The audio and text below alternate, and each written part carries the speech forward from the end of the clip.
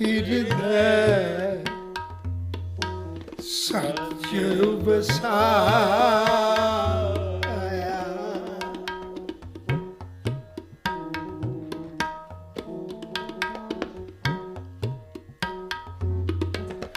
ਜਿਨ ਕੈ ਹਿਰਦੈ। ਸੱਚ ਵਸਾਇਆ।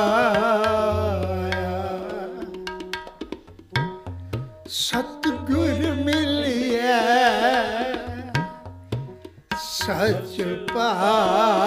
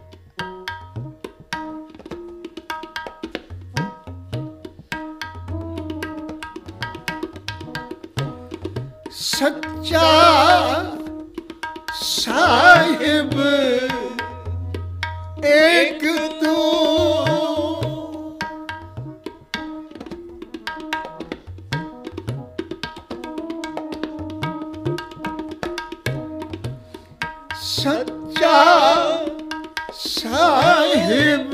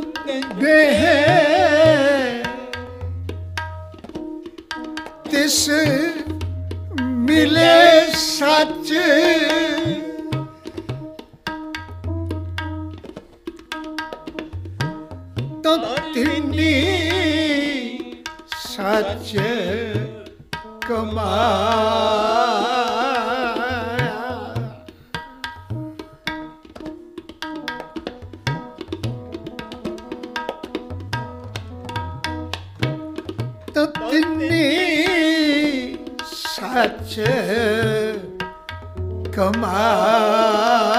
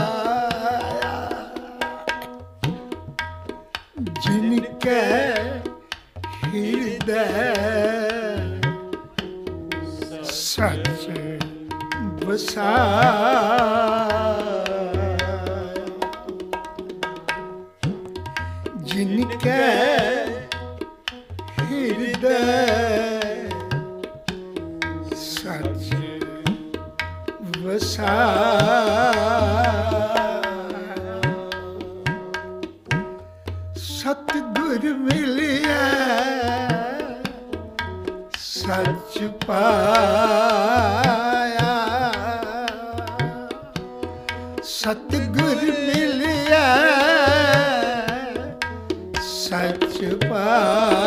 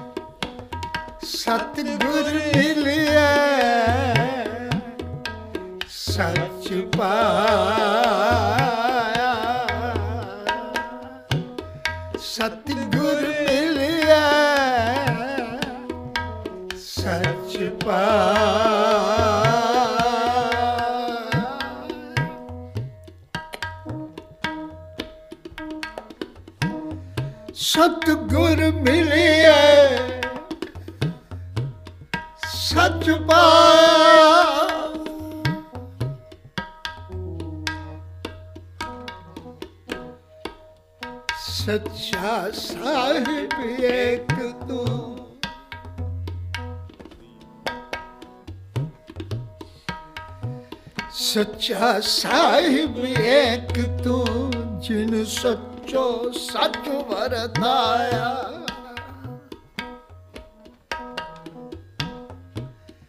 ਜਿਨ ਸੱਚੋ ਸੱਚ ਵਰਤਾਇਆ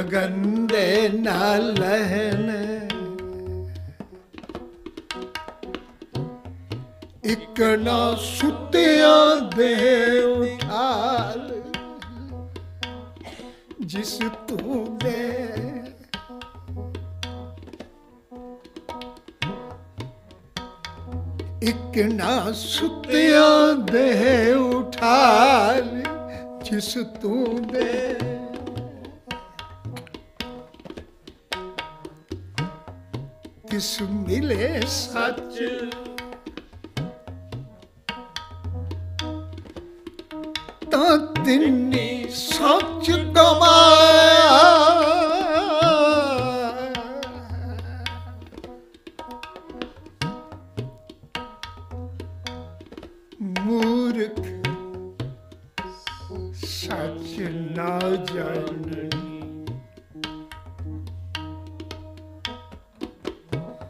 ਮੂਰਖ ਸੱਚ ਨਾ ਜਾਣਨੀ ਮਨ ਮੁਖੀ ਜਨਮ ਗਵਾ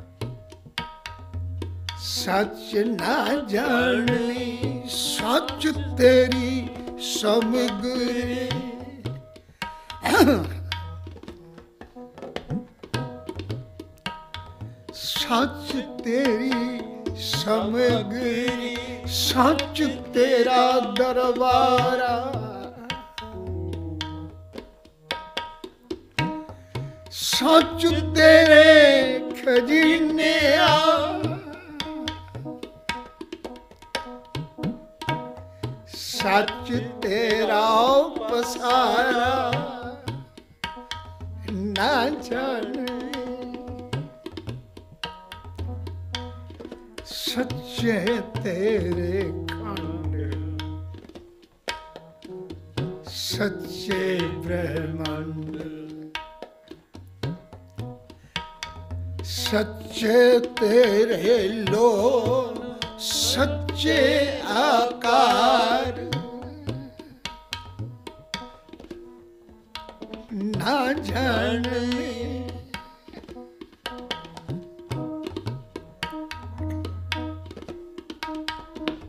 ਆਦ ਸੱਚੇ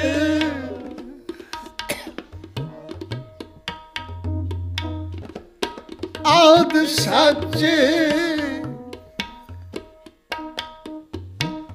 ਜੁਗਾਦ ਸੱਚ ਨਾ ਜਾਣੇ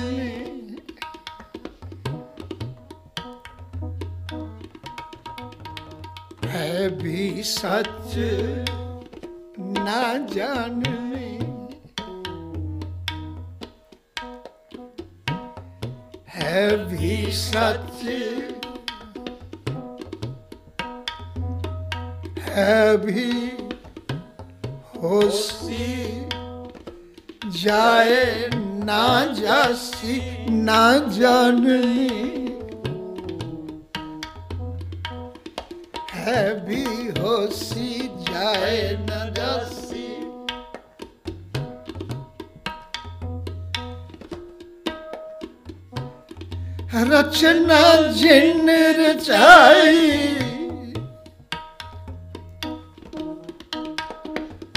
ਸੱਚ ਸਿਰਜੋ ਸੰਸਾਰ।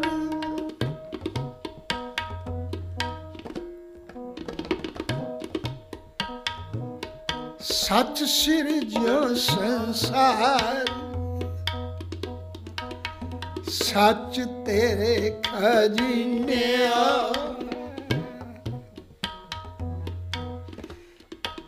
ਸੱਚ ਤੇਰਾ ਪਸਾਰਾ ਇਹ ਸੱਚ ਸਭਨਾ ਕਾ ਖਸਮ ਹੈ। ਨਾ ਜਾਣੇ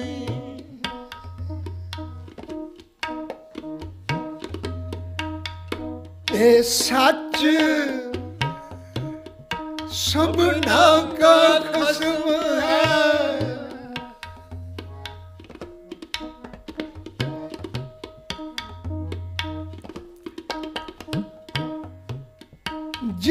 ਜਿਸ ਬਖਸ਼ੇ ਇਹ ਸੱਚ ਸਭਨਾ ਕਾ ਕਸਮ ਹੈ ਪਤਾ ਕਿਵੇਂ ਲੱਗੇ ਨਾ ਜਾਣਨੀ ਵਿੱਚ ਤਾਂ ਬਹੁਤ ਗਿਣਤੀ ਹੈ ਜੇ ਭਲਾ ਉਹ ਜਾਣਨਾ ਚਾਹੇ ਦੁਕਾਨ ਤੇ ਹੋਇਆ ਸੱਚ ਬੜਾ, ਲਫ਼ਜ਼, ਨਾਮ ਬੜਾ ਜਾਣਿਆ ਪਛਾਣਿਆ ਹੈ। ਰੋਜ਼ ਗੱਲਾਂ ਸੱਚ ਦੀਆਂ ਹੀ ਹੁੰਦੀਆਂ ਨੇ। ਦੁਨੀਆ ਦਾ ਮਨੁੱਖ ਜਿਹੜਾ ਝੂਠ ਬੋਲਣ ਵਾਲਾ ਹੈ ਨਾ, ਆਪ ਉਹ ਵੀ ਦੂਜੇ ਕੋਲੋਂ ਸੱਚ ਚਾਹੁੰਦਾ ਹੈ। ਕਹਿੰਦਾ, ਮੈਂ ਝੂਠ ਬੋਲਾਂ, ਦੂਜਾ ਮੇਰੇ ਸਾਹਮਣੇ ਝੂਠ ਨਾ ਬੋਲੇ। ਦੋ ਸੰਸਾਰਕ ਜੀਵਨ ਦੀ ਮੁੱਖ ਕਿਰਿਆ ਨੇ। ਮੇਰਾ ਦਿਲ ਚਾਹਿਆ ਸੀ ਅੱਜ ਇਸ ਆਮ ਸਰਲ ਟੌਪਿਕ ਨੂੰ ਸਾਂਝਾ ਕਰਾਂ।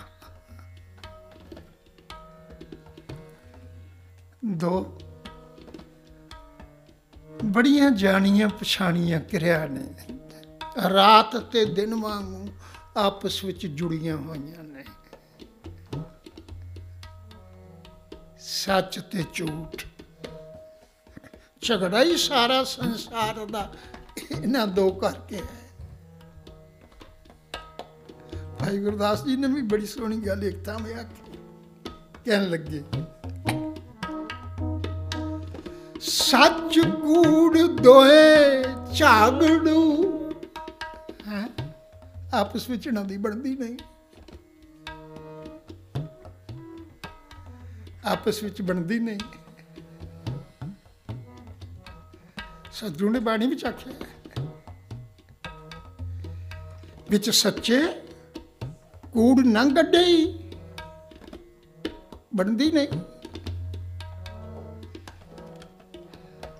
ਸਾਕਤ ਸੱਚ ਨਾ ਭਾਵਈ ਬਣਦੀ ਨਹੀਂ।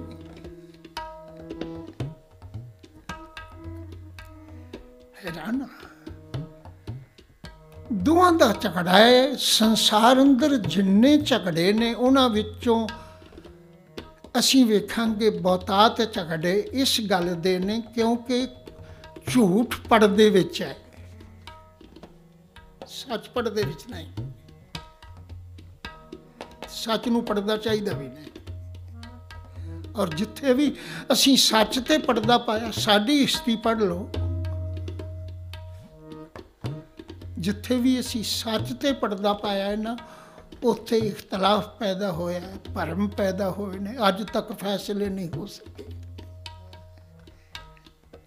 ਸਤਿਗੁਰੂ ਨੇ ਬਾਣੀ ਵਿੱਚ ਆਖਿਆ ਹੈ, ਕਹਿਣ ਲੱਗੇ ਸੱਚ ਦੀ ਤਾਂ ਨਿਸ਼ਾਨੀ ਇਹ ਹੈ ਜੇ ਕਿਸੇ ਦਾ ਪਛਾਣ ਨਾ ਹੋਵੇ ਸੱਚ ਤਾਂ ਉਹਦੀਆਂ ਕੁਝ ਸ਼ਰਤਾਂ ਸਤਿਗੁਰੂ ਨੇ ਆਸਾ ਦੀ ਵਾਰ ਵਿੱਚ ਹੀ ਰੱਖ ਦਿੱਤੀਆਂ। ਸਾਨੂੰ ਪਤਾ ਕਿਵੇਂ ਲੱਗੇ? ਇਹਦੇ ਕੋਲ ਸੱਚ ਹੈ। ਕਹਿਣ ਲੱਗੇ ਕੁਝ ਨਿਸ਼ਾਨੀਆਂ ਨੇ।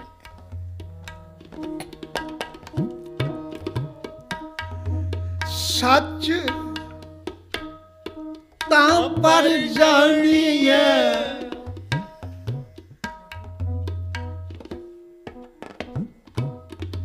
ਸੱਚ ਤਾਂ ਪਰ ਜਾਣੀਏ ਜਾਂ ਹਿਰਦੇ ਸੱਚਾ ਹੋਏ ਫਿਰ ਕੀ ਹੁੰਦਾ ਹੈ? ਕੂੜ ਕੀ ਭਲ ਉਤਰੇ? ਮਨੁੱਖ ਸੁੱਚਾ ਹੋ ਜਾਂਦਾ ਹੈ। ਆਈ ਖਿਆਲ ਕਰਿਓ।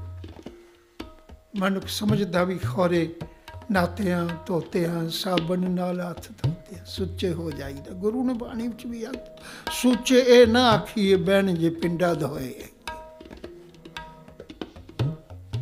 ਬਲਕਿ ਸਤਿਗੁਰੂ ਨੇ ਤਾਂ ਬਾਣੀ ਅੰਦਰ ਇੱਕ ਥਾਂ ਬੜਾ ਖੂਬਸੂਰਤ ਬ੍ਰਾਹਮਣ ਨੂੰ ਮੁਖਾਤਬ ਕਰਕੇ ਵੀ ਆਖਿਆ, ਕਹਿਣ ਲੱਗੇ,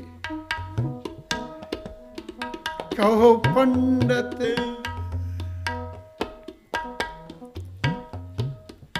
ਕਹੋ ਪੰਡਤ ਸੂਚਾ ਕੌਣ ਤਾ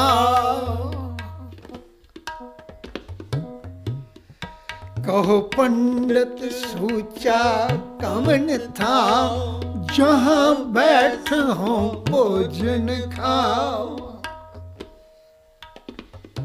ਕੋਈ ਥਾਂ, ਠਿਕਾਣਾ ਦੱਸ। ਜਿੱਥੇ ਬੈਠ ਕੇ ਮੈਂ ਭੋਜਨ ਖਾ ਸਕਾਂ, ਪ੍ਰਸ਼ਾਦ ਛਕ ਸਕਾਂ ਤੇ ਆਖਾਂ ਮੈਂ ਸੁੱਚਾ ਭੋਜਨ ਸੁੱਚੀ ਥਾਂ ਤੇ ਬੈਠ ਕੇ ਖਾਦਾ ਹੈ। ਸਦੂ ਨੇ ਨਾ ਪਹਿਲਾ ਸੁੱਚਾ ਆਪ ਹੋਏ, ਸੁੱਚੇ ਬੈਠਾ ਹੈ, ਸੁੱਚੇ ਅੱਗੇ ਰੱਖਣ ਕੋਈ ਨਾ ਬੈਠਿਓ ਜਾਏ। ਸੁੱਚਾ ਹੋਏ ਕਿ ਜਿਵਿਆ ਜਿਵਿਆ ਦੇ ਮਤਲਬ ਖਾਦਾ ਛਕਿਆ। ਕਹਿਣ ਲੱਗੇ, ਮੈਨੂੰ ਟਿਕਾਣਾ ਦੱਸ। ਤੇ ਬ੍ਰਾਹਮਣ ਆਖ ਰਿਹਾ ਸੀ, ਦੇਖ, ਮੈਂ ਗੋਬਰ ਦਾ ਚੌਂਕਾ ਪਾਇਆ। ਫਿਰ ਨਿਰਾ ਚੌਕਾ ਹੀ ਨਹੀਂ ਪਾਇਆ। ਉਸ ਚੌਕੇ ਨੂੰ ਸੁੱਚਾ ਕਰਕੇ ਉਹਦੇ ਦੁਆਲੇ ਇੱਕ ਲਕੀਰ ਫੇਰ ਦਿੱਤੀ ਹੈ ਵੀ ਇਹਦੇ ਅੰਦਰ ਕੋਈ ਝੂਠਾ ਨਾ ਆਵੇ। ਦੇ ਕੇ ਚੌਕਾ। ਕੱਢੀ ਕਾਰ। ਕਾਰ ਦਾ ਮਤਲਬ ਲਕੀਰ। ਮੈਂ ਲਕੀਰ ਖਿੱਚ ਦਿੱਤੀ ਹੈ ਇਹਦੇ ਅੰਦਰ ਮੈਂ ਜਿਹੜਾ ਚੌਂਕਾ ਹੈ, ਉਹਨੂੰ ਸੁੱਚਾ ਕਰ ਲਿਆ ਹੈ। ਗੋਬਰ ਦਾ ਚੌਂਕਾ ਪਾਇਆ ਹੈ, ਜਿਹਨੂੰ ਆਪਾਂ ਪੁਰਾਣੇ ਸਮੇਂ ਵਿੱਚ ਕਹਿੰਦੇ ਹੁੰਦੇ ਸਾਂ ਗੋਏ ਦਾ ਲੇਪਨ ਕਰਨਾ। ਬਜ਼ੁਰਗ ਭੈਣਾਂ ਨੂੰ ਪਤਾ ਹੈ। ਤੇ ਗੁਰੂ ਸਾਹਿਬ ਨੇ ਬਾਣੀ ਅੰਦਰ ਇਹੋ ਚੀਜ਼ਾਂ ਵਰਤੀਆਂ ਨੇ ਐਗਜ਼ਾਮਪਲ ਸਮਝਾਉਣ ਲਈ। ਕਹਿਣ ਲੱਗੇ ਭਲਿਆ ਮੈਂ ਸੋਚੀ ਪੈ ਗਿਆ, ਵਿਸ਼ਟਾ ਵੀ ਕਦੀ ਸੁੱਚਾ ਹੁੰਦਾ ਹੈ? ਹੈ ਤਾਂ ਵਿਸ਼ਟਾ ਹੀ ਨਾ, ਭਾਵੇਂ ਉਹ ਜਾਨਵਰ ਦਾ ਗੋਬਰ ਵੀ ਤਾਂ ਜਾਨਵਰ ਦਾ ਵਿਸ਼ਟਾ ਉਹ ਸੁੱਚਾ ਕਿਵੇਂ ਹੋ ਗਿਆ? ਸਤਿਗੁਰੂ ਨੇ ਬਾਣੀ ਵਿੱਚ ਆ ਕੇ ਕਹਿਣ ਲੱਗੇ, ਗੋਬਰ ਝੂਠ ਸੱਚਿਆ। ਗੋਬਰ ਝੂਠਾ, ਚੌਂਕਾ ਝੂਠਾ। ਝੂਠੀ ਦੀਨੀ ਕਰਾ। ਗੋਬਰ ਵੀ ਝੂਠਾ ਜਾਨਵਰ ਦਾ ਰਿਸ਼ਤਾ ਹੈ। ਉਹਦੇ ਨਾਲ ਚੌਂਕਾ ਵੀ ਝੂਠਾ ਹੋ ਗਿਆ ਹੈ। ਉਹਦੇ ਵਿੱਚ ਲ- ਪਾਈ ਹੋਈ ਲਕੀਰ ਕਿਵੇਂ ਸੁੱਚੀ ਹੋ ਗਈ, ਉਹ ਵੀ ਝੂਠੀ। ਬਾਬਾ ਕਬੀਰ ਜੀ ਨੇ ਆਖਿਆ, ਕਹਿਣ ਲੱਗੇ, ਭਲਿਆ, ਬ੍ਰਾਹਮਣ, ਮੈਂ ਤੈਨੂੰ ਯਕੀਨ ਦਿਵਾਨਾ, ਜਿੰਨੀ ਦੇਰ ਸੱਚ ਅੰਦਰ ਨਹੀਂ ਆਉਂਦਾ, ਓਨੀ ਦੇਰ ਸੁੱਚਾ ਨਹੀਂ ਹੁੰਦਾ ਲੋ ਆ ਇੱਕ ਲਫ਼ਜ਼ ਵੀ ਜਿਹੜਾ ਗੁਰਬਾਣੀ ਅੰਦਰ ਅਨਵਾਇ ਕਰਨ ਲੱਗਿਆਂ ਵੀ ਪੜਨ ਲੱਗਿਆਂ ਵੀ ਵਿਸਰਾਮ ਦਾ ਭੁਲੇਖਾ ਪੈਣ ਕਰਕੇ ਅਸੀਂ ਗਲਤ ਪੜ ਰਹੇ ਹਾਂ। ਸਤਿਗੁਰੂ ਦੀ ਬਾਣੀ ਦੇ ਇੱਕ ਲਫ਼ਜ਼ ਨੇ, ਕਹਿੰਦੇ ਨੇ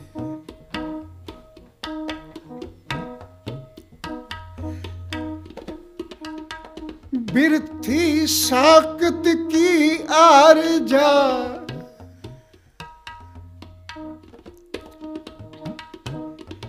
ਬਿਰਥੀ ਸਾਖਤ ਕੀ ਆਰਜਾ ਸਾਚ ਬਿਨਾ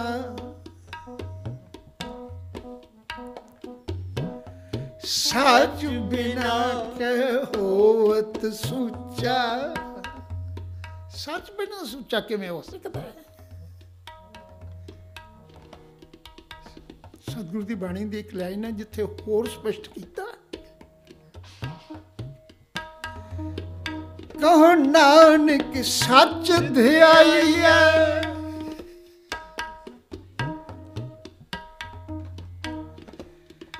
ਕਹੋ ਨਾਨਕ ਸੱਚ ਧਿਆਈਐ। ਹੁਣ ਅਗਲੀ ਲਾਈਨ ਪੜੋ ਇਹਨੂੰ ਬੜਾ ਧਿਆਨ ਨਾਲ ਇੱਥੇ ਅਸੀਂ ਟਪਲਾ ਖਾ ਜਾਂਦੇ ਹਾਂ। ਕਿਉਂਕਿ ਇਹਦਾ ਵਿਸਰਾਮ ਦੇਣ ਲੱਗਿਆ। ਅਸੀਂ ਤਾਂ ਤੇ ਵਿਸਰਾਮ ਜੋੜ ਕੇ ਉਹਨੂੰ ਪਹਿਲੇ ਨਾਲ ਜੋੜ ਲੈਣੇ ਆ ਕਹੋ ਨਾਨਕ, ਸੱਚ ਧਿਆਈਐ ਸੁਚ ਹੋਵੇ। ਇੱਥੇ ਵਿਸਰਾਮ ਦੇ ਦਿੱਤਾ। ਬਸ, ਗਲਤੀ ਹੋ ਗਈ। ਸੁਚ ਹੋਵੇ ਤਾਂ ਸੱਚ ਪਾਈਐ ਆ ਗਲਤ ਹੋ ਗਿਆ। ਇਹਦਾ ਮਤਲਬ ਬਣ ਗਿਆ, ਜੇ ਤੂੰ ਸੁੱਚਾ ਹੋਵੇਂਗਾ ਤਾਂ ਤੈਨੂੰ ਸੱਚ ਮਿਲੇਗਾ। ਇਹਦਾ ਮਤਲਬ ਸੁੱਚਾ ਪਹਿਨਣਾ ਪਹਿਲਾਂ ਹੋਣਾ ਤੇ ਫਿਰ ਸੱਚ ਨੇ ਕੀ ਕਰਨਾ? ਜੇ ਤੂੰ ਪਹਿਲੇ ਸੁੱਚਾ ਹੈ ਗੁਰਬਾਣੀ ਨੇ ਬੜਾ ਸਪਸ਼ਟ ਕੀਤਾ ਹੈ। ਗੁਰਬਾਣੀ ਨੂੰ ਪੜਨ ਲੱਗਿਆਂ ਵੀ ਸਾਨੂੰ ਪੁਰਾਣੇ ਸਮੇਂ ਅੰਦਰ ਬਾਣੀ ਪੜਨ ਲੱਗਿਆਂ ਸੰਥਿਆ ਕਿਉਂ ਲੈਂਦੇ ਸਨ? ਹੁਣ ਨਹੀਂ, ਕਿਉਂਕਿ ਸਭ ਕੁਝ ਮੋਬਾਈਲ ਵਿੱਚ ਆ ਗਿਆ। ਹੁਣ ਕਿੱਥੇ ਸੰਥਿਆ ਲੈਣ ਦਾ ਕਿਸੇ ਕੋਲ ਟਾਈਮ ਹੈ? ਕੌਣ ਲੈਂਦਾ ਅੱਗੇ ਜਦੋਂ ਬਾਣੀ ਬੱਚੇ ਨੂੰ ਪੜ੍ਹਾਈ ਜਾਂਦੀ ਸੀ ਮਾਤਾ ਪਿਤਾ ਜਾ ਕੇ ਬਜ਼ੁਰਗਾਂ ਸਿਆਣਿਆਂ ਵਿਦਵਾਨਾਂ ਕੋਲ ਜਾ ਕੇ ਸਨ ਜੀ ਇਹਨੂੰ ਸੰਥਿਆ ਕਰਾ ਦਿਓ। ਸੰਥਿਆ ਦਾ ਮਤਲਬ ਸੀ ਬਾਣੀ ਇਹਨੂੰ ਸਮਝ ਆਉਣ ਲੱਗ ਪਵੇ। ਸੰਥਿਆ ਮੈਨੂੰ ਯਾਦ ਹੈ, ਉਮਰ ਕੋਈ 8-9 ਸਾਲ ਦੀ ਹੋਣੀ ਹੈ ਲੁਧਿਆਣੇ। 9 ਸਾਲ ਦੀ ਉਮਰ 'ਚ ਬਿਲਕੁਲ ਨੇੜੇ। ਅੱਜ ਕੱਲ ਤਾਂ ਉਹ ਦੂਖ ਨਿਵਾਰਨ ਸਾਹਿਬ ਗੁਰਦੁਆਰਾ ਖਵਾਉਂਦਾ ਬਹੁਤ ਵੱਡਾ ਗੁਰਦੁਆਰਾ ਬਣ ਗਿਆ ਪਰ ਉੱਥੇ ਇੱਕ ਕੱਚਾ ਜਿਹਾ ਕੋਠਾ ਸੀ ਤੇ ਪਾਕਿਸਤਾਨ ਤੋਂ ਆਏ ਹੋਏ ਕਿਸੇ ਦੀ ਇੱਕ ਬਾਹ ਨਹੀਂ ਸੀ, ਉਸ ਵਿਚਾਰੇ ਬਜ਼ੁਰਗ ਦੀ। ਉਹਨੇ ਉਸ ਕੋਠੇ ਵਿੱਚ ਪ੍ਰਕਾਸ਼ ਕਰਕੇ ਗੁਰਦੁਆਰਾ ਆਰੰਭ ਕੀਤਾ ਸੀ। ਤੇ ਮਾਤਾ ਜੀ ਨੇ ਮੈਨੂੰ 9 ਸਾਲ ਦੀ ਉਮਰ ਵਿੱਚ ਉਹਨੂੰ ਦੇ ਕੋਲ ਲਿਜਾ ਕੇ ਆਖਿਆ, ਇਹਨੂੰ ਸੰਥਿਆ ਕਰਾ ਦੇ। ਇਹਨੂੰ ਸੰਥਿਆ ਕਰਾ ਦਿਆ ਕਿਉਂਕਿ ਸੰਥਿਆ ਕਰਾਉਣ ਲੱਗਿਆ ਅਨਵੈ ਕਿਵੇਂ ਕਰਨਾ ਕਿੱਥੇ ਵਿਸਰਾਮ ਦੇਣਾ ਇਹ ਸਮਝਾਇਆ ਜਾਂਦਾ ਸੀ। ਹੁਣ ਆਪਾਂ ਵਿਸਰਾਮ ਦਾ ਸਿਰਫ ਫ਼ਰਕ ਸਮਝੀਏ। ਅਰਥ ਬਦਲ ਜਾਂਦੇ ਨੇ। ਕਹੋ, ਨਾਨਕ, ਸੱਚ ਧਿਆਈਐ ਗੱਲ ਤੇ ਸੱਚ ਦੀ ਹੋ ਰਹੀ ਹੈ। ਕਹੋ ਨਾਨਕ ਸੱਚ ਧਿਆਈਐ ਸੁਚ ਹੋਵੇ, ਜੇ ਇੱਥੇ ਵਿਸਰਾਮ ਦੇਾਂਗੇ ਅਰਥ ਬਦਲ ਜਾਏਗਾ। ਜੇ ਸੁਚ ਹੋਵੇਗੀ, ਤਾਂ ਸੱਚ ਮਿਲੇਗਾ। ਨਹੀਂ, ਤਾਂ ਨੂੰ ਪਹਿਲੇ ਹਿੱਸੇ ਨਾਲ ਜੋੜਨਾ ਹੈ। ਸੁਚ ਹੋਵੇ ਤਾਂ, ਉਹ ਭਲਿਆ ਸੋਚ ਤੇ ਤਾਂ ਹੀ ਹੋਣੀ ਹੈ ਜੇ ਸੱਚ ਪਾਏਗਾ। ਬਿਨਾ ਸੱਚ ਤੋਂ ਸੋਚਣ ਮੈਨੂੰ ਕਈ ਵਾਰੀ ਹੱਡ ਬੀਤੀਆਂ ਵੀ ਕਈ ਯਾਦ ਆ ਜਾਂਦੀਆਂ ਨੇ, ਨਾਲ ਨਾਲ ਉਹ ਤੁਹਾਡਾ ਸਾਂਝੀ ਕਰ 50 ਸਾਲ ਪੁਰਾਣੀ ਗੱਲ ਹੈ। ਦਾਸ, ਇਲਾਹਾਬਾਦ ਗਏ ਸਨ ਪ੍ਰੋਗਰਾਮ ਤੇ। ਸ਼ਾਮਾਂ ਨੂੰ ਈਵਨਿੰਗ ਵਾਕ ਵਾਸਤੇ ਬਾਹਰ ਨਿਕਲ ਜਾਣਾ ਕਈ ਵਾਰੀ। ਦਰਬਾਰ ਸਾਹਿਬ 84 ਦੇ ਸਮੇਂ ਉਹ ਹੈਡ ਗ੍ਰੰਥੀ ਸਨ ਗਿਆਨੀ ਸਾਹਿਬ ਸਿੰਘ ਉਹਨਾਂ ਦਾ ਛੋਟਾ ਭਰਾ ਮੇਰੇ ਨਾਲ ਇਸ ਤਰ੍ਹਾਂ ਵਾਜੇ ਤੇ ਹੁੰਦਾ ਸੀ। ਨਾਲ ਦੇ ਵਾਜੇ ਤੇ ਸੇਵਾ ਕਰਦਾ ਸੀ। ਭਗਤ ਸਿੰਘ ਅੱਜ ਕੱਲ ਜੰਮੂ ਹੈ। ਸ਼ਾਮ ਨੂੰ ਇਵਨਿੰਗ ਵਾਕ ਤੇ ਗਏ ਤੇ ਵਾਪਸ ਆ ਰਹੇ ਸਾਂ। ਕਾਫੀ ਉਦੋਂ ਉਮਰ ਦੇ ਮੁਤਾਬਕ ਦੂਰ ਨਿਕਲ ਜਾਈਦਾ ਸੀ 2.5 ਮੀਲ ਸਫ਼ਰ ਕਰਕੇ। ਵਾਪਸ ਆ ਰਿਹਾ ਸਾਂ ਤੇ ਮੈਂ ਆਖਿਆ, ਭਗਤ ਸਿੰਘ, ਸੋਦਰ ਦਾ ਪਾਠ ਸੁਣਾ ਆਪਾਂ। ਟਾਈਮ ਹੋ ਗਿਆ ਸੀ। ਸੋਦਰ ਦਾ ਰਹਿਰਾਸ ਦਾ ਪਾਠ ਸੁਣਾ। ਕਹਿਣ ਲੱਗਾ ਸਭ ਜੇ ਆਪਾਂ ਸ਼ਹਿਰ ਨੇੜੇ ਹੀ ਆ, ਜਾ ਲਈਏ। ਉੱਥੇ ਕੋਈ ਪਾਣੀ ਦਾ ਸਾਧਨ ਬਣ ਜਾਏਗਾ। ਹੱਥ ਚਲਾ ਪਣੀ ਕਰ ਲਵਾਂਗੇ ਫਿਰ ਮੈਂ ਤੈਨੂੰ ਸੁਣਾਵਾਂਗਾ। ਮੈਂ ਆਖਿਆ, ਭਗਤ ਸਿੰਘ, ਅਜੀਬ ਗੱਲ ਹੈ। ਜਦੋਂ ਆਪਾਂ ਸ਼ਹਿਰ ਵਿੱਚ ਪਹੁੰਚ ਜਾਵਾਂਗੇ, ਉੱਥੇ ਰਸ਼ ਵੱਧ ਜਾਣਾ ਫਿਰ ਤੇਰੀ ਰਹਿ ਰਾਸ ਮੈਨੂੰ ਸੁਣਨੀ ਨਹੀਂ। ਰਸ਼ ਵੱਧ ਜਾਣਾ ਪਬਲਿਕ ਫਿਰ ਰਹਿ ਰਾਸ ਸੁਣਨੀ ਨਹੀਂ। ਮੈਂ ਮੈਂ ਮੈਂ ਤੇਰੇ ਹੈਰਾਨ ਆ ਵੀ ਬਾਣੀ ਹੱਥ ਨੂੰ ਸੁੱਚਾ ਨਹੀਂ ਕਰ ਸਕਦੀ। ਤੇ ਫਿਰ ਅਜੀਬ ਗੱਲ ਇਹ ਹੈ, ਬਾਣੀ ਦੀ ਜਿਹੜੀ ਹੱਥ ਦੀ ਝੂਠ ਹੈ, ਉਹ ਬਾਣੀ ਨੂੰ ਝੂਠਾ ਕਰ ਦੇਵੇਗੀ। ਦੋ ਹੀ ਗੱਲਾਂ ਨੇ ਨਾ। ਜਾਂ ਤਾਂ ਤੇਰੇ ਹੱਥਾਂ ਦੀ ਝੂਠ ਬਾਣੀ ਤੇ ਲੱਗ ਜਾਏਗੀ। ਬਾਣੀ ਸੁੱਚੀ ਨਹੀਂ ਰਹਿਣੀ ਤੇ ਜੇ ਬਾਣੀ ਸੁੱਚੀ ਹੈ, ਤੇ ਫਿਰ ਉਹ ਤੇਰੇ ਹੱਥਾਂ ਦੀ ਝੂਠ ਦੇ ਮੁਹਤਾਜ ਨਹੀਂ। ਤੋ ਸਤਿਗੁਰੂ ਨੇ ਬਾਣੀ ਅੰਦਰ ਵੀ ਇਹ, ਉਦੋਂ ਮੈਨੂੰ ਅਜੇ ਤੱਕ ਯਾਦ ਹੈ, ਉਦੋਂ ਇਹ ਤੁਕ ਪੜੀ। ਮੈਂ ਆਖਿਆ, ਸਤਿਗੁਰੂ ਨੇ ਤਾਂ ਬਚਨ ਕੀਤਾ ਹੈ। ਕਹੋ, ਨਾਨਕ ਸੱਚ ਧਿਆਈਐ ਸੁਚ ਹੋਵੇ ਤਾਂ। ਇੱਥੇ ਵਿਸਰਾਮ ਦੇ ਉਹ ਪੜਿਆ ਜੇ ਸੁੱਚਾ ਹੋਣਾ ਹੀ ਤਾਂ ਹੋ ਸਕੇਗਾ। ਸੁੱਚ ਹੋਵੇ ਤਾਂ ਸੱਚ ਪਾਈਐ। ਤੇ ਇੱਥੇ ਵੀ ਆਖਿਆ, ਬਿਰਥੀ ਸਾਕਤ ਕੀ ਆਰਜਾ ਸਾਚ ਬਿਨਾ ਕਹਿ ਹੋਵਤ ਸੁਚਾ। ਸੱਚ ਬਿਨਾਂ ਸੁੱਚਾ ਨਹੀਂ ਹੋਇਆ ਜਾ ਸਕਦਾ। ਤੇ ਇਹੋ ਗੱਲ ਸਤਿਗੁਰੂ ਨੇ ਬਾਣੀ ਵਿੱਚ ਆਖੀ। ਕਹਿਣ ਲੱਗੇ, ਇੱਕ ਭਲਿਆ ਮਨ ਅੰਦਰ ਵਿਸ਼ਵਾਸ ਰੱਖ। ਸੱਚ ਸਭਨਾ ਕਾ ਖਸਮ ਹੈ। ਜਿਸ ਜਿਸ ਦੇ ਕੋਲ, ਕਿਉਂਕਿ ਸੱਚ ਨੂੰ ਛੁਪਾਉਣ ਦੀ ਲੋੜ ਨਹੀਂ ਪੈਂਦੀ। ਜਦੋਂ ਕੋਈ, ਜਿਹੜਾ ਮਨੁੱਖ ਸੱਚ ਬੋਲਣ ਵਾਲਾ ਹੈ ਨਾ, ਤੇ ਉਹਦੇ ਅੰਦਰ ਸੱਚ ਹੈ, ਉਹਦੇ ਹਰ ਕਰਮ ਵਿੱਚ ਸੱਚ ਆ ਜਾਂਦਾ ਹੈ। ਆ ਹੁਣੇ ਲਫ਼ਜ਼ ਆਏ ਸਨ। ਸੱਚ ਤਾਂ ਪਰ ਜਾਣੀਏ ਜਾਂ ਸੱਚਾ ਹੋਏ ਕੂੜ ਕੀ ਮਲ ਉਤਰੈ ਤਨ ਕਰੇ ਹੱਛਾ ਧੋਏ। ਸੱਚ ਤਾਂ ਪਰ ਜਾਣੀਏ ਜਾਂ ਸੱਚ ਧਰੇ ਪਿਆਰ।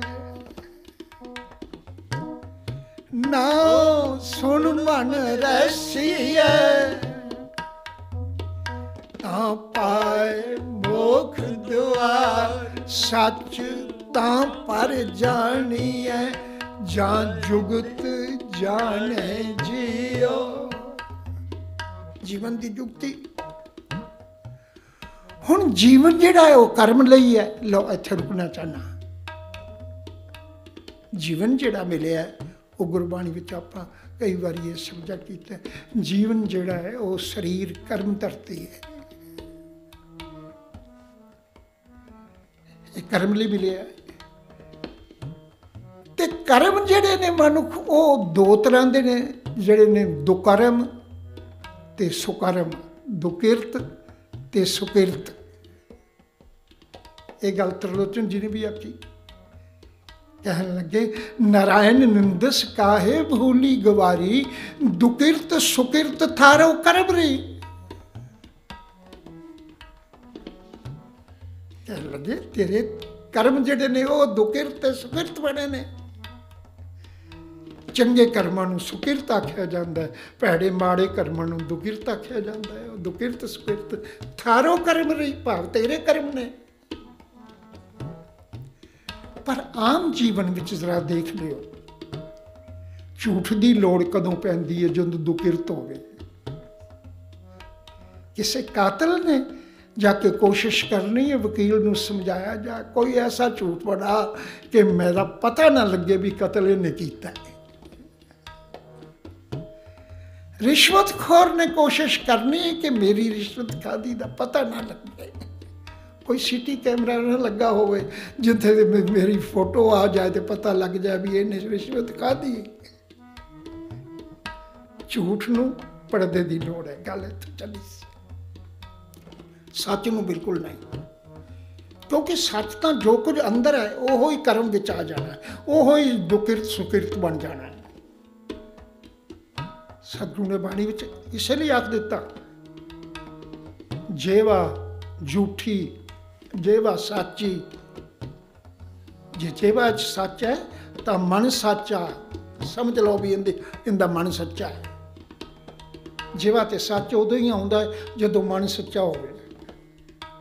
ਸਤਿਗੁਰੂ ਨੇ ਬਾਣੀ ਵਿੱਚ ਆਖਿਆ, ਜੇਵਾ ਸਾਚੀ, ਮਨ ਸਾਚਾ ਸਾਚਾ ਸਰੀਰ ਆਕਾਰ।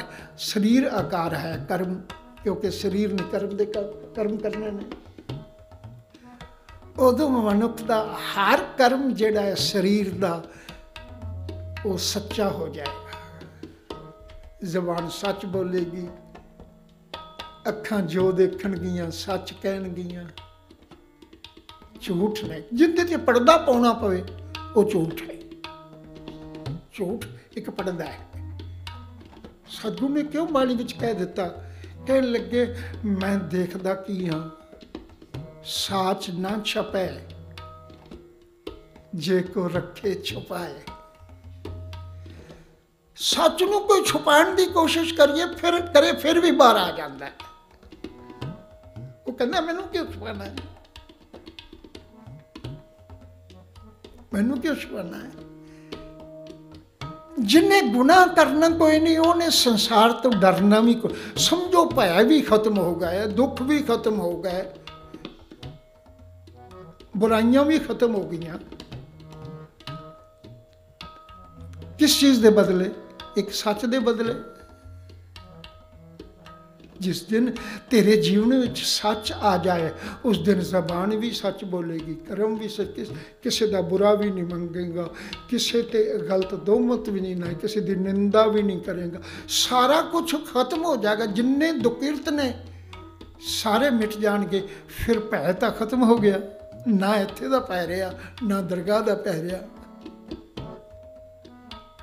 ਸਤਿਗੁਰੂ ਨੇ ਬਾਣੀ ਵਿੱਚ ਐਵੇਂ ਨਹੀਂ ਆਖਿਆ। ਪਹਿਲੇ ਕਿ ਜੇ ਨਾਨਕ ਅਵਗੁਣ ਜੇਤੜੇ ਤੇਤੇ ਗਲੀ ਜ਼ੰਜੀਰ। ਇਹ ਜਿੰਨੀਆਂ ਫਾਈਆਂ ਨੇ, ਜਿੰਨੇ ਸਜ਼ਾਵਾਂ ਨੇ, ਉਹ ਸਾਰੀਆਂ ਤਾਂ ਅਵਗੁਣ ਕਰਕੇ ਨੇ। ਜਿੰਨੀ ਕਮੀ ਨਾ ਹੈ ਗੁਣ, ਤੇ ਕਮੜੇ ਵਿਸਾਰ ਮਤ ਸ਼ਰਮਿੰਦਾ ਥਈ ਸਾਈਂ ਦੇ ਦਰਬਾਰ ਸ਼ਰਮਿੰਦਗੀ, ਤਾਂ ਉਹਨੂੰ ਹੈ ਜਿਨੇ ਗੁਨਾਹ ਕੀਤੇ ਨੇ ਤੇ ਫਿਰ ਸ਼ਰਮਿੰਦਗੀ ਤੋਂ ਬਚਣ ਲਈ ਉਹ ਝੂਠ ਦਾ ਸਹਾਰਾ ਲੈਂਦਾ, ਪਰਦੇ ਪਾਉਂਦਾ। ਕਹਿੰਦੇ ਗੁਰੂ ਸਾਧੂ ਨੇ, ਬਾਣੀ ਵਿੱਚ ਆਖਿਆ, ਸਾਚੀ ਦਰਗੇ ਬੋਲੇ ਕੂੜ। ਪਰਦੇ ਪਾਉਂਦਾ। ਤੂੰ ਮੈਂ ਕਰ ਰਿਹਾ ਸਾਂ, ਜ਼ਰੂਰਤ ਹੈ। ਕਿ ਕਿਸੇ ਤਰ੍ਹਾਂ ਮਨੁੱਖ ਨੂੰ ਜੀਵਨ ਦੀ ਜੁਗਤ ਆ ਜਾਏ ਤੇ ਉਹ ਜੁਗਤ ਜਿਹੜੀ ਬੇਪਰਦ ਹੋ ਕੇ ਕੰਮ ਕਰਦੀ ਨਿਤੜਕ ਹੋ ਕੇ ਗੱਲ ਕਰਦੀ ਹੈ, ਬੇਖੌਫ ਹੋ ਕੇ ਵਿਚਰਦੀ ਹੈ, ਉਹ ਜੁਗਤ ਜਿਹੜੀ ਹੈ, ਉਹ ਹੈ ਜੀਵਨ ਜੁਗਤ ਸੱਚ ਵਿੱਚ। ਜੇ ਤੂੰ ਜੀਵਨ ਅੰਦਰ ਇੱਕ ਸੱਚ ਅਪਣਾ ਲਵੇਂ, ਕਿਉਂਕਿ ਦੋ ਹੀ ਚੀਜ਼ਾਂ ਨੇ, ਸੱਚ ਤੇ ਝੂਠ। ਝੂਠ ਪੜਦਾ ਹੈ ਤੇ ਬੁਰਾਈਆਂ ਨਾਲ ਸੰਬੰਧ ਰੱਖਦਾ ਹੈ। ਜਿੰਨੇ ਗੁਨਾਹ ਨੇ ਉਹ ਸਾਰੇ ਪਰਦੇ ਵਿੱਚ ਹੁੰਦੇ ਨੇ। ਮੈਂ ਇੱਕ ਵਾਰ ਕੀਤੀ ਸੀ, ਰਾਤ ਦੇ ਅੰਧੇਰੇ ਵੀ ਨੂੰ ਚੋਰ ਕਿਉਂ ਪਸੰਦ ਕਰਦਾ ਹੈ? ਠੇਡੇ ਵਰਦੇ ਨੇ ਹਾਲਾਂਕਿ, ਉਹ ਇਸ ਲਈ ਪਸੰਦ ਕਰਦਾ ਹੈ ਕਿ ਅੰਧੇਰਾ ਵੀ ਇੱਕ ਪੜਦਾ ਹੈ। ਉਹਦਾ ਚਿਹਰਾ ਨਹੀਂ ਦਿਸੇਗਾ, ਪਤਾ ਨਹੀਂ ਲੱਗੇਗਾ ਕਿ ਇਹ ਚੋਰ ਆਇਆ ਹੈ। ਗੁਰੂ ਕਹਿੰਦੇ ਨੇ, ਜੇ ਭਲਾ ਤੂੰ ਚੋਰੀ ਛੱਡ ਦੇ, ਤੈਨੂੰ ਅੰਧੇਰੇ ਦੀ ਵੀ ਲੋੜ ਕੋਈ ਨਹੀਂ। ਜਿਸ ਦਿਨ ਤੂੰ ਸੱਚ ਤੇ ਪਹਿਰਾ ਦੇਣਾ ਸ਼ੁਰੂ ਕਰ ਦਿੱਤਾ, ਉਸ ਦਿਨ ਤੈਨੂੰ ਕਿਸੇ ਵੀ ਝੂਠ ਦੀ ਲੋੜ ਨਹੀਂ ਪੈਣੀ, ਤੈਨੂੰ ਪਰਦੇ ਦੀ ਜ਼ਰੂਰਤ ਹੀ ਨਹੀਂ ਪੈਣੀ। ਬਲਕਿ ਸੰਸਾਰ ਜਿਹੜਾ ਹੈ, ਅੱਜ ਤੋਂ ਆਇਆ ਨਾ, ਸੱਚ ਕੂੜ ਦੋ ਝਗੜੂ ਝਗੜਾ ਕਰਦੇ ਚੌਥੇ ਆਇਆ, ਭਾਈ ਗੁਰਦਾਸ ਜੀ ਨੇ ਆਖਿਆ, ਸੱਚ ਤੇ ਝੂਠ ਦਾ ਝਗੜਾ ਹੈ। ਤੇ ਝਗੜਦੇ ਝਗੜਦੇ ਅਖੇ ਚੌਥੇ ਆ ਗਏ। ਚੌਥੇ ਪੁਰਾਣੇ ਸਮੇਂ ਅੰਦਰ ਅਦਾਲਤਾਂ ਨਹੀਂ ਸਨ ਹੁੰਦੀਆਂ। ਪੰਚਾਇਤਾਂ ਫੈਸਲੇ ਕਰਦੀਆਂ ਸਨ ਤੇ ਪੰਚਾਇਤਾਂ ਚੌਥੇ ਜਿੱਥੇ ਬੈਠ ਕੇ ਫੈਸਲੇ ਕਰਦੀਆਂ ਸਨ, ਉਹਨੂੰ ਚੌਥਾ ਆਖਦੇ ਸਨ। ਭਾਈ ਗੁਰਦਾਸ ਨੇ ਵੀ ਉਹ ਲਫ਼ਜ਼ ਵਰਤੇ ਆਖੇ ਸੱਚ ਤੇ ਝੂਠ ਦਾ ਝਗੜਾ ਹੋ ਗਿਆ, ਦੋਵੇਂ ਚੌਥੇ ਆ ਗਏ। ਤੇ ਆ ਕੇ ਉਹਦੇ ਸਾਹਮਣੇ ਪੇਸ਼ ਹੋਏ ਜਿਹੜਾ ਸੱਚ ਸੀ। ਸੱਚਾ ਆਪ, ਨਿਆਉ ਸੱਚਾ, ਨਿਆਉ ਸੱਚ। ਆਪ ਹਜ਼ੂਰ ਦੋਵੇਂ ਝਗੜਾਏ।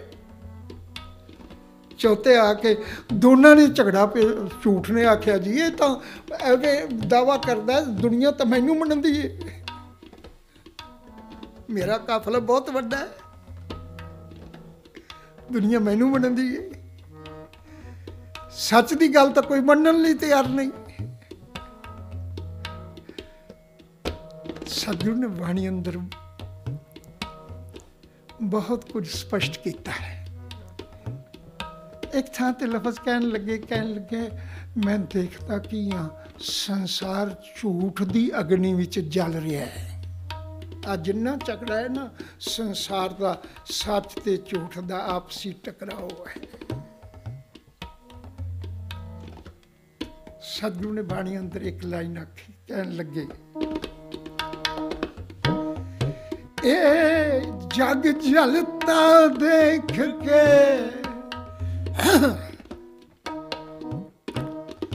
ਇਹ ਜਗ ਜਲਤਾ ਦੇਖ ਕੇ ਭਜ ਪੈ ਭਜ ਪੈ ਸਤਿਗੁਰ ਸਰਣਾ। ਕਿਉਂਕਿ ਮੇਰੇ ਮਾਲਕ ਦਾ ਇਹ ਸੱਚ ਦਾ ਜਿਹੜਾ ਵੱਡਾ ਖਜ਼ਾਨਾ ਸੀ ਨਾ, ਉਹਨੇ ਖਜ਼ਾਨਚੀ ਬਣਾ ਕੇ ਗੁਰੂ ਨੂੰ ਬਿਠਾ ਦਿੱਤਾ ਸੀ। ਜਿੰਨੇ ਵੀ ਸੱਚ ਲੈਣਾ ਹੋਵੇ, ਉਹਨੂੰ ਗੁਰੂ ਕੋਲ ਜਾਣਾ ਪੈਗਾ ਰੱਬ ਨੇ ਡਾਇਰੈਕਟ ਆ ਕੇ ਅਰਦਾਸਾਂ ਕੀਤੀਆਂ, ਸੱਚ ਅੰਦਰ ਨਹੀਂ ਟਿਕਣਾ ਸ੍ਰੀ ਗੁਰੂ ਗ੍ਰੰਥ ਸਾਹਿਬ ਕੋਲੋਂ ਹੋਣਾ ਪਏਗਾ। ਜੇ ਤੂੰ ਆਪਾਂ ਰੋਜ਼ ਅਰਦਾਸ ਕਰੀਏ ਮਹਾਰਾਜ, ਮੈਨੂੰ ਸੱਚ ਮਿਲ ਜਾਏ, ਸੱਚ ਮਿਲ ਜਾਏ ਨਹੀਂ।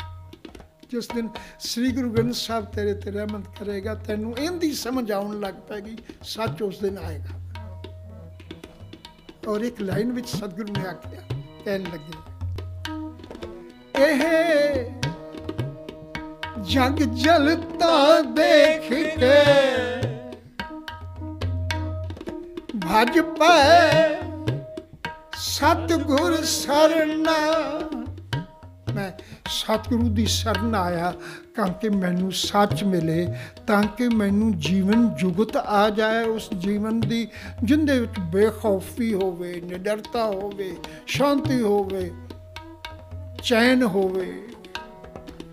ਜਦੋਂ ਕੋਈ ਗੁਨਾਹ ਕਰਨਾ ਨਾ ਹੋਵੇ ਨਾ, ਮਨੁੱਖ ਦੇ ਜੀਵਨ ਵਿੱਚੋਂ ਗੁਨਾਹ ਨਿਕਲ ਜਾਣ, ਆਪੇ ਚੈਨ ਆ ਜਾਂਦੀ ਹੈ ਇਸ ਲਈ ਮੈਂ ਸਤਿਗੁਰੂ ਦੀ ਸ਼ਰਨ ਆ ਗਿਆ। ਆਖਿਆ, ਜੀ, ਸੁਣਿਆ ਤੁਹਾਡੇ ਕੋਲ ਸੱਚ ਹੈ। ਚਾਬੀ ਤੁਹਾਡੇ ਕੋਲ ਹੈ। ਕੁੰਜੀ ਤੁਹਾਡੇ ਕੋਲ ਹੈ। ਤੇ ਸੱਚ ਬਿਨਾ ਨਿਰਭੈਤਾ ਨਹੀਂ ਆਉਂਦੀ, ਝੂਠ ਨਾਲ ਕਦੀ ਨਿਰਭੈ ਤੁਸੀਂ ਜਿੰਨਾ ਮਰਜ਼ੀ ਗੁਨਾਹ ਕਰਕੇ ਝੂਠ ਬੋਲ ਕੇ ਉਹਦੇ ਤੇ ਪਰਦੇ ਪਾ ਲਓ, ਫਿਰ ਵੀ ਰਾਤ ਭਰ ਨੀਂਦ ਨਹੀਂ ਆਉਂਦੀ, ਕਿਤੇ ਮੇਰਾ ਪਰਦਾ ਖੁੱਲ ਨਾ ਜਾਏ। ਕਿਤੇ ਸੱਚ ਬਾਹਰ ਨਾ ਆ ਜਾਏ। ਮਨ ਖੁਦਾ ਸਵਾਲ। ਕਹਿਣ ਲੱਗੇ, ਜੀ ਇਹ ਸਤਿਗੁਰੂ, ਮੈਂ ਤੇਰੀ ਸ਼ਰਨ ਆਇਆ, ਮੈਨੂੰ ਜੀਵਨ ਦੀ ਜੁਗਤ ਉਹ ਸੱਚ ਦੀ ਮਿਲੇ ਤਾਂ ਕਿ ਮੈਂ ਜੀਵਨ ਬੇਖੌਫ ਕਰਕੇ ਜਾਵਾਂ। ਤੇ ਜਿਹੜਾ ਜਵਾਬ ਗੁਰੂ ਵੱਲੋਂ ਮਿਲਿਆ ਨਾ ਉਹ ਆਪਾਂ ਅੱਜ ਸਿਰਫ ਇੱਕ ਲਾਈਨ ਦਾ ਜਵਾਬ ਸੰਭਾਲ ਲਈਏ। ਕਹਿਣ ਲੱਗੇ ਇਹ ਜਗ ਜਲਤਾ ਦੇਖ ਕੇ ਭਜ ਪਏ ਸਤਿਗੁਰ ਸਰਨਾ। ਸਤਿਗੁਰ ਸੱਚ ਦ੍ਰਿੜਾਇਆ।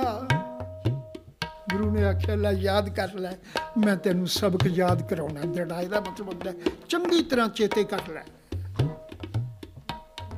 ਸਤਿਗੁਰ ਸੱਚ ਦ੍ਰਿੜਾਇਆ ਲੈ। ਸੱਚ ਨੂੰ ਚੰਗੀ ਤਰ੍ਹਾਂ ਹਿਰਦੇ ਵਿੱਚ ਟਿਕਾ ਲੈ। ਤੇ ਵਿਸ਼ਵਾਸ ਇੱਥੇ ਨਹੀਂ ਕਿ ਹਿਰਦੇ ਟਿਕ ਟਿਕਣ ਦਾ ਮਤਲਬ ਕੀ ਹੋਵੇਗਾ, ਨਤੀਜਾ ਕੀ ਹੋਏਗਾ ਸਦਾ ਸੱਚ ਸੰਜਮ ਰਹਿਣਾ। ਅੱਧੀ ਲਾਈਨ ਹੈ ਕਿਹੜੀ ਸਪਸ਼ਟ ਹੈ। ਕੋਈ ਲੋਕਾਂ ਨਹੀਂ ਕਹਿਣ ਲੱਗੀ। ਸਤਿਗੁਰ ਸੱਚ ਦ੍ਰਿੜਾਇਆ। ਸਤਿਗੁਰ ਸੱਚ ਦ੍ਰਿੜਾਇਆ। ਸਦਾ ਸੱਚ ਸੰਜਮ ਰਹਿਣਾ। ਸੰਜਮ ਕਿਨੂੰ ਕਹਿੰਦੇ ਨੇ? ਮਰਿਆਦਾ। ਇੱਕ ਲਕੀਰ। ਆਪਾਂ ਕਹਿੰਦੇ ਫਲਾਣਾ ਆਦਮੀ ਬੜੇ ਸੰਜਮ ਵਿੱਚ ਹੈ। ਕਿਸੇ ਮਰਿਆਦਾ ਵਿੱਚ ਹੈ। ਵਾਧੂ ਖਾਂਦਾ ਨਹੀਂ, ਵਾਧੂ ਸੌਂਦਾ ਨਹੀਂ, ਵਾਧੂ ਬੋਲਦਾ ਨਹੀਂ, ਸੰਜਮ ਵਿੱਚ ਹੈ। ਤੇ ਸੰਜਮ ਦਾ ਅਰਥ ਹੈ ਮਰਿਆਦਾ। ਤੇ ਇੱਥੇ ਲਫ਼ਜ਼ ਨੇ, ਜਦੋਂ ਗੁਰੂ ਕੋਲ ਮੈਂ ਗਿਆ ਤੇ ਬੇਨਤੀ ਕੀਤੀ, ਨਾ ਜੀ, ਸੰਸਾਰ ਜਲ ਰਿਹਾ ਹੈ, ਮੇਰੇ ਤੇ ਰਹਿਮਤ ਕਰੋ, ਮੈਨੂੰ ਸੱਚ ਬਖਸ਼ੋ। ਤਾਂ ਗੁਰੂ ਨੇ ਆਖਿਆ, ਜਵਾਬ ਦਿੱਤਾ, ਕਹਿਣ ਲੱਗੇ, ਸੱਚ ਨੂੰ ਹਿਰਦੇ ਵਿੱਚ ਟਿਕਾ ਲੈ। ਸਤਿਗੁਰੂ, ਸੱਚ ਦ੍ਰਿੜਾਇਆ, ਪਰ ਇੱਕ ਗੱਲ ਦਾ ਖਿਆਲ ਰੱਖੀ, ਸਦਾ ਸੱਚ ਸੰਜਮ ਰਹਿਣਾ। ਇਹ ਲਾਗੂ ਹੋਏਗਾ।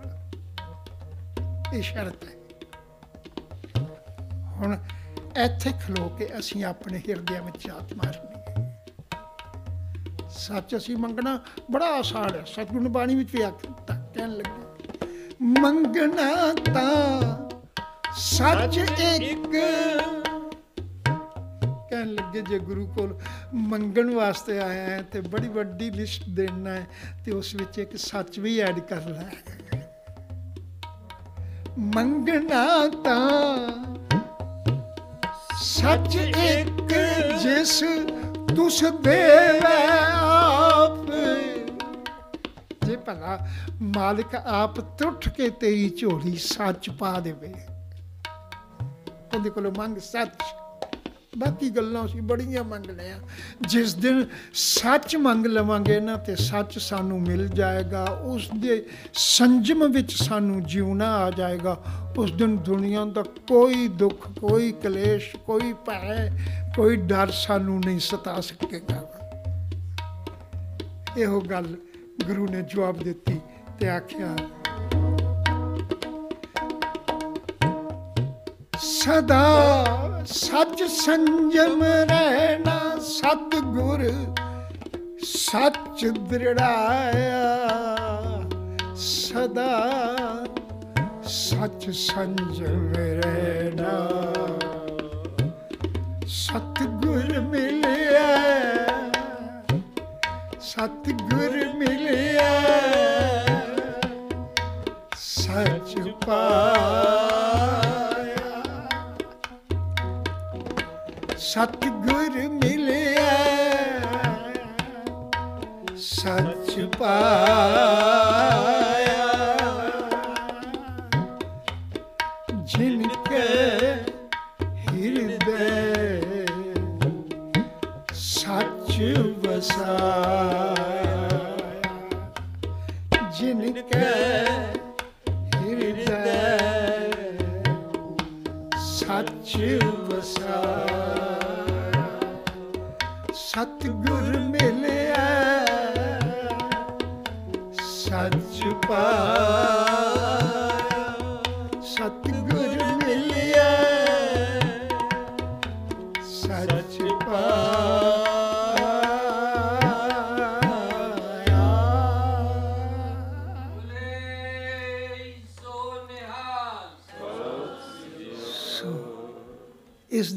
ਨਾਲ ਜਿਹੜੀ ਸ਼ਰਤ ਹੈ, ਉਹ ਹੈ ਸਦਾ ਸਦਾ ਸੱਚ ਸੰਜਮ ਰਹਿਣਾ।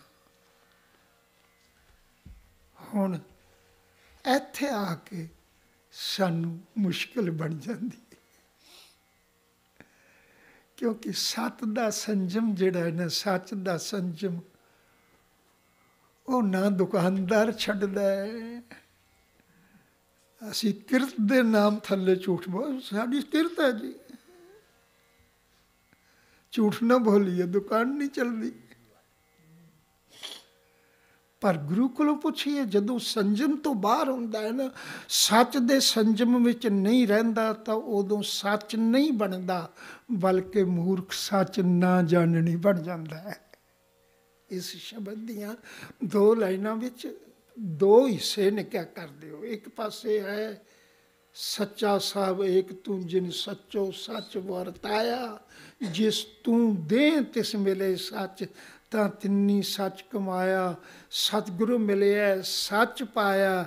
ਜਿਨ ਕੇ ਹਿਰਦੇ ਸੱਚ ਵਸਾਇਆ, ਤੇ ਦੂਜਾ ਪੱਖ ਨਾਲ ਹੀ ਆਖ ਦਿੱਤਾ, ਮੂਰਖ ਸੱਚ ਨਾ ਜਾਣਨੀ। ਉਹ ਕਿਉਂਕਿ ਸੰਜਮ ਵਿੱਚ ਨਹੀਂ ਰਹਿਣਾ ਚਾਹੁੰਦੇ। ਸਤ ਦਾ ਸੰਜਮ ਹੈ। ਜਦੋਂ ਤੈਨੂੰ ਹਰ ਕਦਮ ਤੇ ਇਹ ਸੋਚਣ ਲਈ ਮਜਬੂਰ ਹੋਣਾ ਪੈਂਦਾ ਕਿ ਇਹ ਕੰਮ ਮੇਰਾ ਸੱਚ ਮੈਨੂੰ ਇਜਾਜ਼ਤ ਦਿੰਦਾ ਹੈ, ਫਿਰ ਜੇ ਤੂੰ ਉਹ ਸੰਜਮ ਚ ਰਹਿ ਲੈ, ਫਿਰ ਆਪਣੇ ਜੀਵਨ ਅੰਦਰ ਕਦੀ ਝਾਤ ਮਾਰ ਕੇ ਕੌੜੀ ਸਚਾਈ ਦੇਖੀ, ਤੇਰਾ ਡਰ ਭੈ ਆਪੇ ਹੀ ਖਤਮ ਹੋ ਜਾਏਗਾ। ਕਿਉਂਕਿ ਗਲਤ ਕੀਤਾ ਹੀ ਕੁਝ ਨਹੀਂ। ਸੱਚ ਵਾਲਾ ਕਦੀ ਡਰਦਾ ਨਹੀਂ। ਸੱਚ ਵਾਲਾ ਕਦ, ਕਦੇ ਵੀ ਕਿਸੇ ਕੋਲੋਂ ਪੈਰ ਨਹੀਂ ਖਾਂਦਾ। ਇਸ ਲਈ ਜੇ ਤੂੰ ਆਪਣਾ ਜੀਵਨ ਨਿਡਰਤਾ ਤੇ ਸੰਤੁਸ਼ਟਤਾ ਬਚਾਉਣਾ ਚਾਹਨਾ ਹੈ, ਤਾਂ ਗੁਰੂ ਦੀ ਆ ਗੱਲ ਮੰਨ ਜਾ, ਜਿਹੜਾ ਸਤਿਗੁਰੂ ਆਖਦੇ ਨੇ, ਸਤਿਗੁਰੂ ਸੱਚ ਦ੍ਰਿੜਾਇਆ, ਸਦਾ ਸੱਚ ਸੰਜਮ ਰਹਿਣਾ। ਇਹ ਜੀਵਨ ਦੀ ਮੁੱਖ ਮਨੋਰਥ ਦੀ ਗੱਲ ਹੈ। ਕਿ ਹਮੇਸ਼ਾ ਤੂੰ ਸੱਚ ਦੀ ਮਰਿਆਦਾ ਵਿੱਚ ਰਹਿ। ਮੈਂ ਝੂਠ ਨਹੀਂ ਬੋਲਣਾ। ਝੂਠ ਤਾਂ ਹੀ ਨਹੀਂ ਬੋਲੇਗਾ ਜੇ ਗਲਤ ਕੰਮ ਨਹੀਂ ਕੀਤਾ ਹੋਏਗਾ। ਜੇ ਤੂੰ ਕਿਸੇ ਦਾ ਹੱਕ ਖਾਦਾ ਹੈ, ਤੇ ਫਿਰ ਤਾਂ ਤੈਨੂੰ ਝੂਠ ਬੋਲਣਾ ਪਵੇਗਾ ਜੀ। ਨਹੀਂ, ਮੈਂ ਨਹੀਂ ਖਾਦਾ। ਜੇ ਤੂੰ ਕਿਸੇ ਦਾ ਮਾੜਾ ਕੀਤਾ ਹੈ, ਫਿਰ ਤੈਨੂੰ ਝੂਠ ਬੋਲਣਾ ਪਵੇਗਾ ਤੇ ਆਪਣੇ ਕੱਪੜੇ ਵੀ ਬਦਲਨੇ ਪੈਣਗੇ। ਆ ਸਾਧੂ ਭੇਖ ਕਿਉਂ ਗੁਰੂ ਸਤਿਗੁਰੂ ਦੇ ਬਾਣੀ ਅੰਦਰ ਕੋਈ ਕਸਰ ਨਹੀਂ ਛੱਡੀ? ਸਤਿਗੁਰੂ ਕਹਿੰਦੇ ਨੇ ਵੀ ਭੇਖ ਕਰੇ ਨਿਰਵਾਣੀ ਆ ਜਿਹੜਾ ਨਿਰਵਾਣ ਭੇਖ ਬਣਿਆ ਹੈ ਨਾ, ਜਿੰਨੇ ਭੇਖ ਬਣੇ ਨੇ, ਜਿਨ੍ਹਾਂ ਨੂੰ ਭੇਖ ਆਖਿਆ ਗਿਆ, ਉਹ ਕੀਤੇ ਹੀ ਇਸ ਲਈ ਗਏ ਨੇ, ਕਿਉਂਕਿ ਮੇਰੇ ਪਾਪਾਂ ਤੇ ਮੇਰੇ ਝੂਠ ਤੇ ਪਰਦਾ ਪੈ ਜਾਏ। ਕੋਸ਼ਿਸ਼ ਕਰਾਂਗੇ ਆਪਾਂ ਅਗਲੇ ਹਫ਼ਤੇ ਜਿਹੜੇ ਇਸ ਸ਼ਬਦ ਦੇ ਦੂਜਾ ਪੱਖ ਹੈ ਕਿ ਮੂਰਖ ਸੱਚ ਨਾ ਜਾਣਨੀ, ਉਹਦੇ ਬਾਰੇ ਵੀ ਵਿਚਾਰ ਕਰੀਏ। ਗੁਰੂ ਬਖਸ਼ਿਸ਼ ਕਰੇ, ਇਹਨਾਂ ਸ਼ਬਦਾਂ ਨਾਲ ਖਿਮਾ ਜਾ ਚੱਕਾ ਫਤਿਹ ਬੁਲਾਓ। ਵਾਹਿਗੁਰੂ ਜੀ ਕਾ ਖਾਲਸਾ। ਵਾਹਿਗੁਰੂ ਜੀ ਕੀ ਅੱਜ ਆਪਾਂ ਇਹ ਨਹੀਂ ਯਾਦ ਰੱਖੀਏ ਕਿ ਸਦਾ ਸੱਚ ਸੰਜਮ ਰਹਿਣਾ। ਸੱਚ ਉਸੇ ਨੂੰ ਮਿਲਦਾ ਹੈ ਜਿਹੜਾ ਸੰਜਮ ਮਰਿਆਦਾ, ਸੱਚ ਦੀ ਮਰਿਆਦਾ ਵਿੱਚ ਰਹਿਣਾ ਸਿੱਖ ਜਾਏ। ਸੱਚ ਤਾਂ ਪਰ ਜਾਣੀਏ ਜਾਂ ਜੁਗਤ ਜਾਣੇ ਜੀਓ। ਤਰਤ ਕਾਇਆ ਸਾਧ ਕੇ ਵਿੱਚ ਦੇ ਕਰਤਾ ਪੀਓ। ਅਗਲਾ ਜਿਹੜਾ ਦ੍ਰਿਸ਼ਟਾਂਤ ਹੈ ਉਹ ਕਿਰਸਾਣੀ ਦਾ ਇਹ ਆਪਾਂ ਅਗਲੀ ਵਾਰ ਵਿਚਾਰਾਂਗੇ। ਨਾ ਸ਼ਬਦਾਂ ਨਾਲ ਫਿਰ ਫਤਿਹ ਬੁਲਾਓ। ਵਾਹਿਗੁਰੂ ਜੀ ਕਾ ਖਾਲਸਾ, ਵਾਹਿਗੁਰੂ